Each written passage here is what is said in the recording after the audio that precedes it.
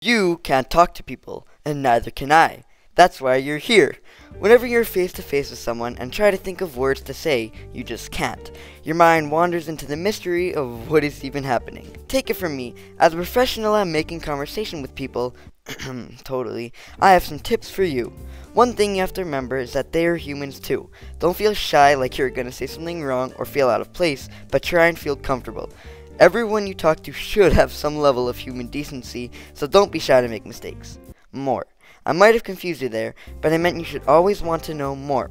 If someone's telling you a story, don't just say the classic, really, or wow, or that's crazy, but be genuinely interested in what they're saying. Even if you don't care at all about what they're saying, still try and feel as interested as you can be.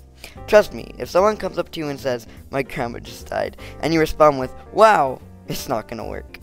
This brings me to my next point, which is don't overthink. If you think too hard about what you're gonna say next, You'll think too hard and end up causing inescapable awkward silence.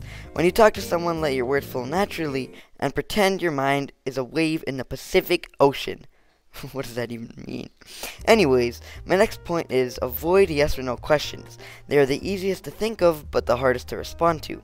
If you're only saying things that they can respond to with a yes or a no, the conversation won't flow.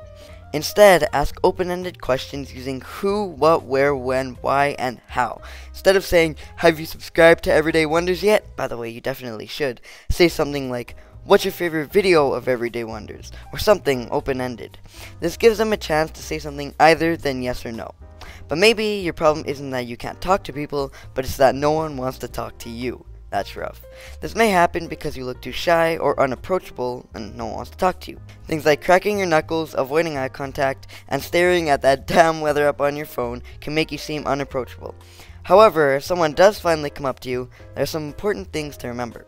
If you make them talk about themselves, they won't stop talking. People love when they get to talk about themselves, so keep asking questions. It will seem like the conversation is flowing, but in reality, all that's happening is they are yapping.